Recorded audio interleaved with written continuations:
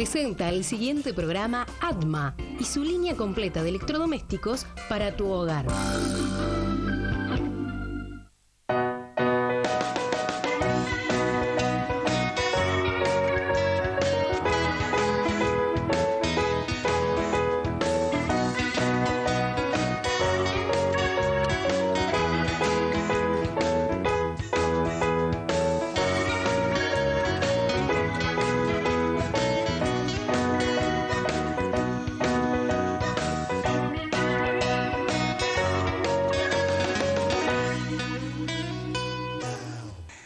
Sí, ah, buenísimo. Los tickets. Ah, ah, los book. Ah, son electrónicos, genial. Barro, el remis, 18 horas. Sí, lo más tarde posible, por fin, porque me muero de irme tan temprano. Bueno, bárbaro, gracias. Nos vemos, adiós. Ah, qué difícil que es esto. Me encanta ir de viaje por todo el país dando clases de cocina, pero cuando llega el momento, se me oprime el corazón, se me hace una teta en la cabeza y no sé cómo organizar mi casa y dejarlos tranquilos. Obviamente que lo voy a dejar a su abuela, a su papá, que no se va al campo esta semana, se queda acá siendo de papá, y tenemos que ver cómo organizamos el resto de la casa. Esta valijita divina Gladys me consiguió, bárbaro, perfecto, no voy a llevar mucha ropa, son tres días apenas, está todo bien. Pero ahora queda lo peor. ¿Cómo hacer para que ellos se sientan contentos, que pueden venir un montón de amigos, que hay comida en el freezer y que está todo organizado? ¿Qué les parece si vamos y vemos todo lo que preparé? A ver si falta algo. Bueno, mm, ya tenemos todo organizado. Miren todo lo que preparé. Las empanadas de jamón y queso, de choclo, de pollo, las milanesas, las lasañas, las albóndigas preferidas de Luchi. Todo organizado. Ahora vamos a guardar todo esto perfecto, Gladysita. Sí, vamos a poner el nombre. Dale, a las lasañas las tapamos con esta hojita de aluminio. Arriba la cerramos bien, eh, dándole vuelta el borde este. ¿Quieres tapar una? Ahora le ayudas a Gladys. Dale. La- le ponemos una vuelta de fin y le ponemos la etiqueta. A las empanadas le ponemos el foil, que acá ya empecé a ponerle, para separarlas de una, dos o tres, de acuerdo a cuántos haya. Y las milanesas también, si querés le puedes poner un foil. Acá en casa las milanesas salen terriblemente, así que voy a preparar unas tartas de verdura y pollo que son riquísimas. Y yo creo que ahí me quedo súper tranquila. Santi, ¿me ayudás vos?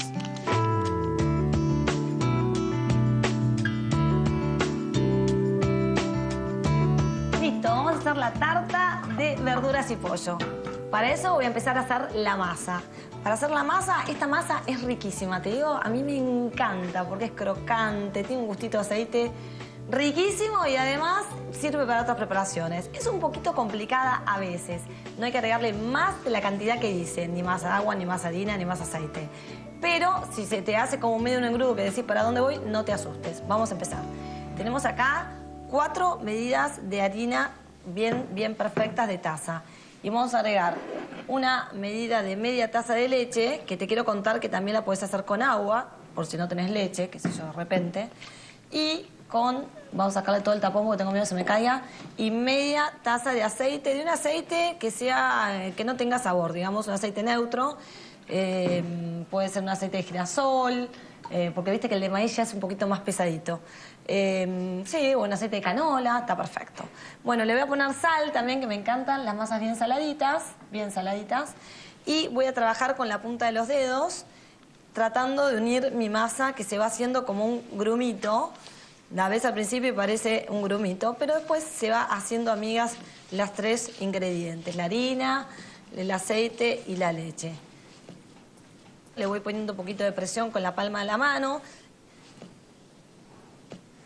Bueno, tenemos una masita divina, divina, divina, a la cual dejamos descansar un ratito nomás a temperatura ambiente, no es necesario la heladera, y empezamos a hacer todo el relleno. Santi, ¿vamos a la huerta? Dale, que te gano, ¿eh? Te gano.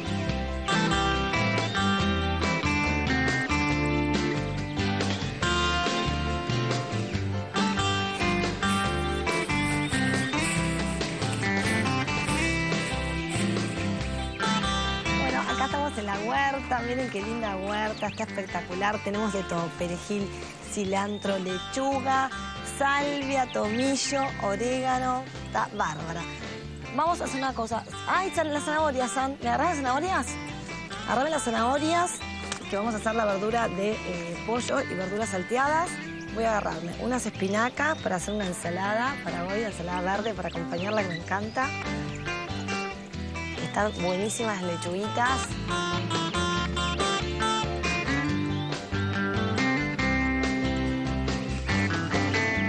Y ahora voy a agarrar un poquito de perejil, que también está precioso, que me van a venir bárbaros para la tarta.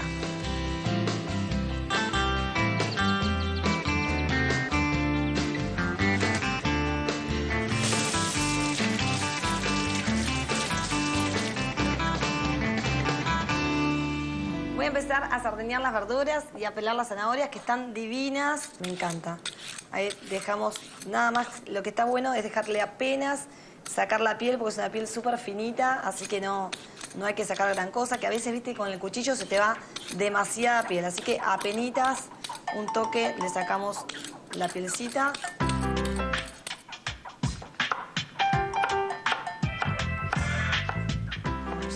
Con toda la zanahorita. La zanahoria es una verdura que obviamente como que requiere un poquito más de cocción. Viste que es más durita, así que sería como en hilera lo de abajo para que reciba más calor. ¿Sí? Podemos poner toda la zanahoria acá en el bol, ya la tenemos lista y por eso es mejor hacer cuadraditos chiquitos como para que se cocinen mucho más rápido porque es feo cuando mordés la tarta y te encontrás con un pedazo de zanahoria dura. Me gusta que quede todo parejito la cocción de las verduras. Bueno, ahora vamos a agarrar eh, zucchinis.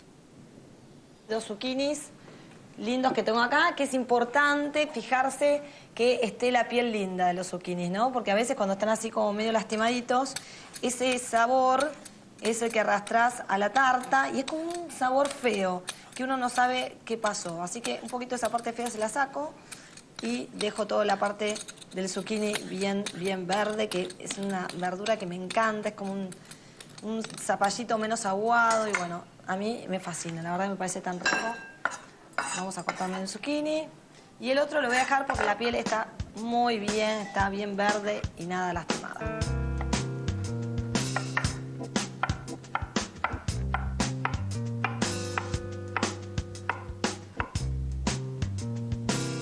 Bueno, ahora voy a elegir dos berenjenas.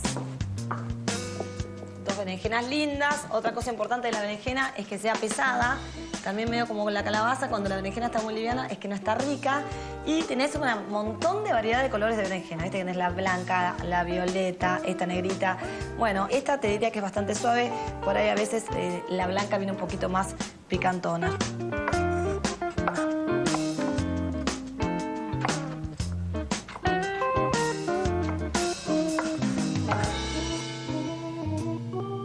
Agregar morrones que le dan mucho sabor, que queda muy rico. Le voy a poner uno y uno, que este, para que tampoco sea tan invasivo. Viste que a veces el, el ají o morrón es este, bastante invasivo. Entonces voy a poner uno de cada uno.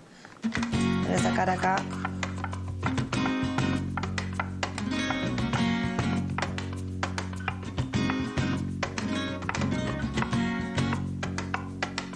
Listo, acá tengo entonces morrón colorado. Morrón colorado. ¡Ay, Juanito! Hola. Acá viene Juan. Dale un beso, mamá. Hola, bebé. Qué lindo que te fuiste hoy, ¿eh? Oh. ¿Va a tomar la papa? Mm, mm. Toda es la papa. Mira qué lindo que quedaron. ¿Vos comiste la milanesa? Yo no estoy comiendo el plato. ¿No estás comiendo? El plato. ¿Es que estás comiendo? Un copetín. Eh, eh, eh, no, A él le gusta el copetín. eh, no Sí, un copetín estás comiendo. Sos terrible. ¿Y Juani se comió toda la papa? Juan y se comió todo.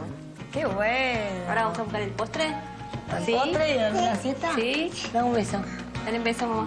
¿Cómo? Un beso, Un mamá. beso. Pero te voy a dar, ¿eh? Te voy a dar, ¿eh? Te voy a dar, ¿eh? Te voy a dar.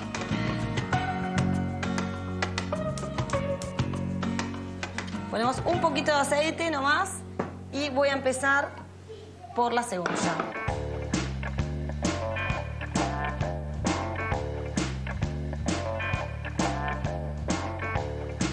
pongo la cebolla a rehogar. Sí, una banana, una manzana.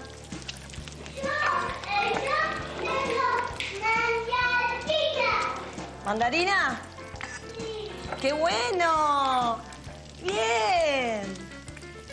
Bueno, y voy a agregar la zanahoria. Yo pongo todo en capas y así después le pongo la tapa y se van cocinando como si fuera una ratatouille, que me encanta la ratatouille. ¿Sabes lo que hago también?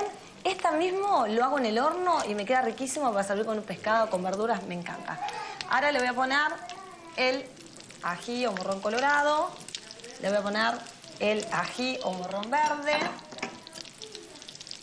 le voy a poner la berenjena y mirad todas las verduras que los hago comer sin que ni siquiera se den cuenta. Y los zucchinis. Pongo todo esto.